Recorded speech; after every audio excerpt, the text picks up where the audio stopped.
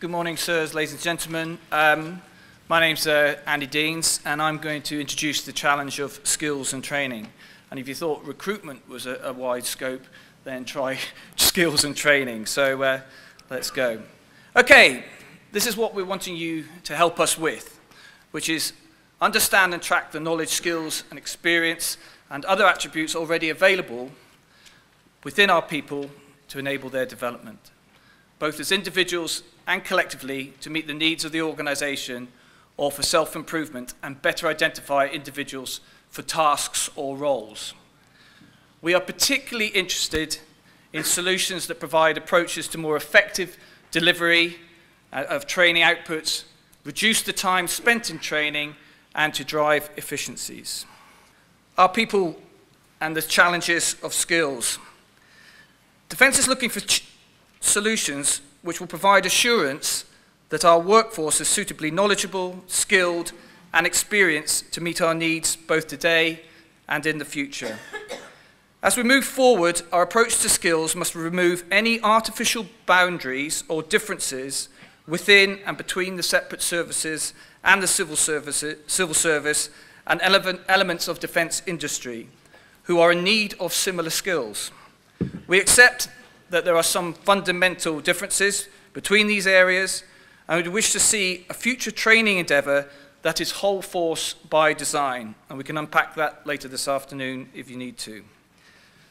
We should strive for similarity and not allow our approach to be constrained or defined by any differences. Okay, to start with, whilst with terms training and education can be used, within this context we will use the term training uh, to avoid repetition. In these instances, training can encompass uh, training, education, learning and development, both individual and collective, which is designed to meet a need of defence. So a little bit of context, because it is a large area in terms of what we're dealing with. Individual training. In this context, and as the name suggests, um, individual training is focused on the person and has evolved an approach that provides militarization. The induction process, which we call initial training, professional and career training, which prepares individuals with the necessary skills for success in the next career stage, and skills that are required in the next assignment or role. To provide some wider context, approximately 13,000 regular service personnel and 6,000 reservists join the Army, Armed Forces and commence training each year. Each service has a different journey, with areas of clear intended operating environments, which could be land, uh, sea, or air. Given their immediate command roles, um, officers' training is different and uh, has to be separated. Professional task-specific training, uh, which provides scope for individuals uh, training the novice and then learning um, on the trade. Uh, this can be accommodate. This can be um, uh, as an area for um, uh, area of uh, uh, scope and uh, focus for yourselves. But if this approach were adopted, then a different approach to planning and training uh, execution may be well required. The needs of the individual, rather than the convenience and ease of planning for the class or cohort, could define the critical path for planning purposes. Once in the workplace, the novice skills can be refined, and as experience grows, the individual can be assessed to confirm their level of competence. This competence needs to be refreshed and updated, which is achieved through workplace and continuous training and education.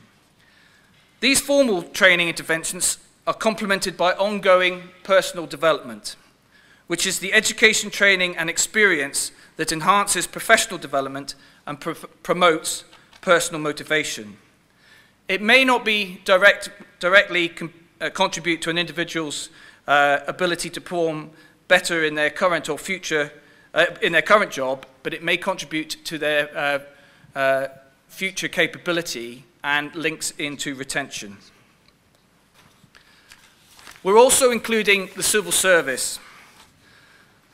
Civil service training is based on individual development needs and training required for undertaking the role.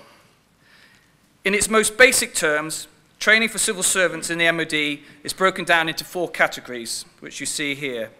Mandatory training, personal effectiveness, leadership and management, and professions-specific training. Learning under each of these categories can be assessed through our two main providers, Civil Service Learning and Defence, the Defence Academy. In summary, it is individually focused, complex, and largely outsourced currently. Collective training. Fighting or combat effect is achieved at the collective level and often involves people and equipment operating effectively as one. At the most basic level, we equip the man, providing a soldier with a weapon. At the extreme, we man the equipment, which in its most obvious is ships, uh, submarines and aircraft. Collective training is when we optimize performance and start to train um, at the team level and all the way through to tra complex training exercises involving all three services and often other nations. So, the challenges, which are broken down into three main areas. First of all, improve the speed at which skills are acquired, or what we call speed to skill, across defense, and this might be by exploiting new technologies, including AI, etc., learning methodologies, and through smarter planning and delivery that makes the most of use and use of scarce resources. Secondly, we aim to strike the right balance between professional and personal development, encouraging the former and optimizing the timing and effect of the latter. The approach must improve individual capability and deliver better productivity through smarter, shorter training interventions.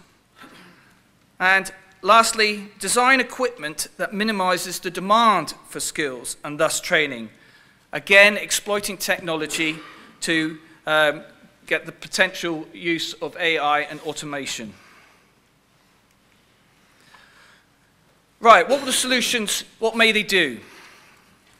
Well, first of all, they may enable us to reduce the cost of developing new skills and knowledge in our people. They may enable us to produce resource optimized plans that make optimum use of all the strands of resources, training, trainers, trainees, equipment, infrastructure, time and costs. You reduce the skills and knowledge fade throughout a career. Improve access to niche or critical skills for the future. Improve the capability of defense people to innovate and adapt for the future. Promote a learning culture that encourages learning from experience. And improve productivity in the workforce by developing skills through individual learning throughout a career and promoting continuous adult learning throughout the whole workforce.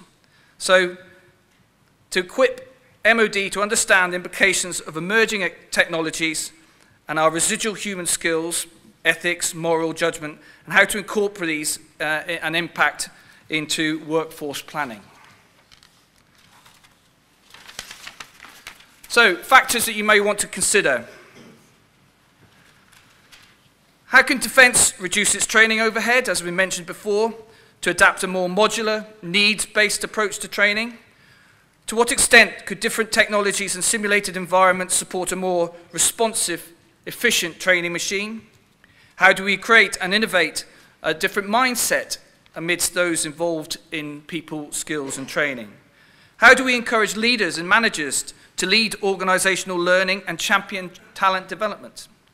And how do we need how do we enable the identification of knowledge, skills, and uh, the abilities that would contribute to the delivery of military training, where that capital has not been developed in the individual by military training already?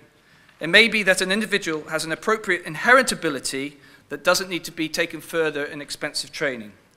And how do we encourage leaders, leaders and managers to role model organizational learning and champion the development of talent?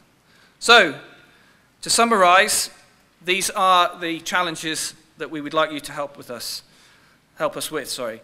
Um, understand and track the knowledge, skills, and experience and other attributes already available within our people to enable their development, both as individuals and collectively to meet the needs of the organisation or for self-improvement and better identify individuals for tasks or roles. And we are particularly interested in solutions that provide approaches to more effective delivery of training outputs, reduce the time spent in training, and drive training efficiencies.